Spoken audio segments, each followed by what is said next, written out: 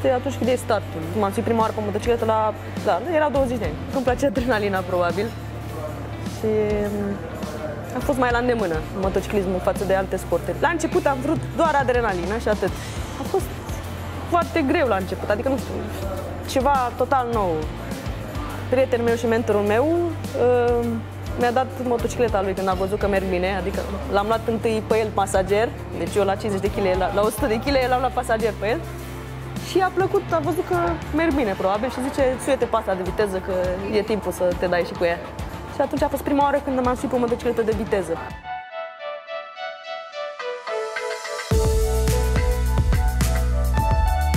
Când ai învățat să mergi pe o roată? E cam scump să înveți. Trebuie să cazi de câteva ori ca să înveți. Eu mă urc în primul rând cu mine însă, deci asta este prima chestie, nu stau să mă raportez foarte mult la ceilalți. E greu pentru ei, din ce am observat. E greu pentru bărbați? Da. Povestește în câteva întâmplări. Cum se Se ambiționează, mă rog, înainte. Asta era mai înainte, acum 90 ani. Se cam ambiționau și totodată au, au depășit aiurea sau au zis că eu mă bag, că asta e fată și eu mă bag la intimidare. Adică am pățit și așa. Au fost și băieți care au, au căzut când am trecut de ei și au încercat să se țină după mine, au căzut în spatele meu. E un sport costisitor? Da, este foarte costisitor. Ce înseamnă foarte costisitor? Păi, în primul rând, mă rog, motocicleta, care îi trebuie ulei, îi trebuie plăcuțe de frână, îi trebuie cauciucuri, îi trebuie taxa de circuit, care la viteză costă și este destul de scumpă. Da, de obicei cu cauciucurile mă descurc, mai găsesc pe la gunoi, da, evident. Deci, literalmente de la gunoi sunt piloți care sunt foarte rapizi și cauciucurile care nu mai sunt bune pentru ei sunt foarte bune pentru mine. Cum se comportă cea mai uh, rapidă motoristă în traficul din București sau în traficul din România în general? E, pe stradă eu merg foarte încet, mă depășesc livratorii de pizza, literalmente. Prefer să țin banii la benzină decât să-i dau la amenzi. Sunt mulți șoferi care observă că sunt fată și mai ales când merg cu scuterul, că am și un scuter. Atunci când merg cu scuterul, nu respectă deloc, adică ei în capul lor, scuterele nu... Mai au o motocicletă, dar de scutere, deci au așa un dispreț. Mi se pare că e o tortură. Pierdere de vreme. Crezi că este vreo soluție în acest moment pentru decongestionarea traficului în București și în marile orașe?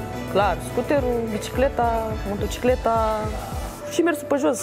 Dacă ai o stație, două de mers, mergi un pic pe jos, mai faci niște mișcare, bine pentru sănătatea ta. Am avut și accidentări destul de grave, te arunc claviculele, aia care se rupe prima. Când s-a întâmplat asta? A, prima oară a fost în 2008 una, asta. Și asta în 2012 odată și în 2015 încă o dată. Eu sunt fricoasă de felul meu, deci o iau foarte încet așa. Nu am curaj, dar trebuie foarte mult antrenament ca să ajung la un nivel decent. Știi că se spune despre motocicliști că sunt donatori de organe. Da, am auzit asta și la spital. Mi se pare stupid. Nu sunt toți donatori de organe.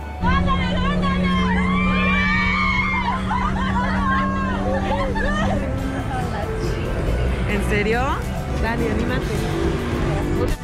Yami. Cea mai recentă competiție la care ai fost, în Mexic. A fost cea mai tare chestie pe care am făcut-o în motociclism vreodată. Când le spuneai că ești din România, ce, ce spuneau?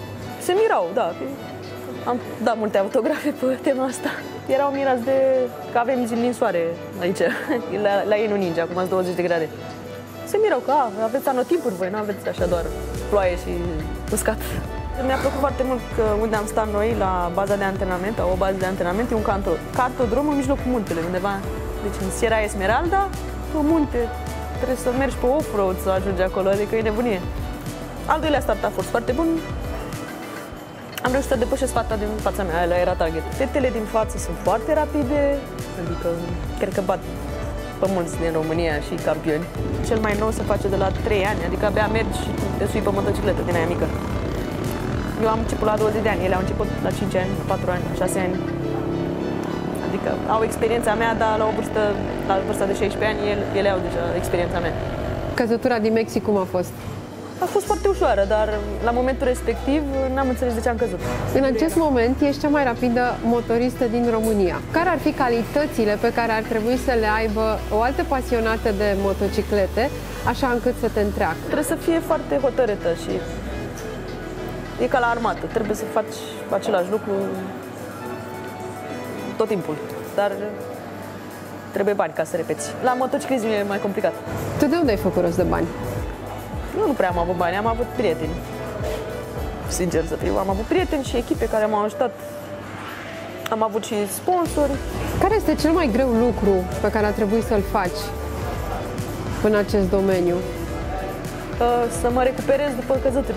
Cel mai greu e să-i spun mamei mele că am căzut și m-am accidentat. M-am gândit o singură dată că de ce fac asta, dar odată m-am gândit. Te-a schimbat în vreun fel sportul ăsta dur? Mi-a oferit foarte multe experiențe de viață, niște lucruri care nu credeam că o să le trăiesc vreodată. Experiența de viață care este și pozitivă și negativă, eu mă bucur de ambele. Adică am căzut, aia e. Văd și cum e când se freacă oasele între ele și le simt rupte.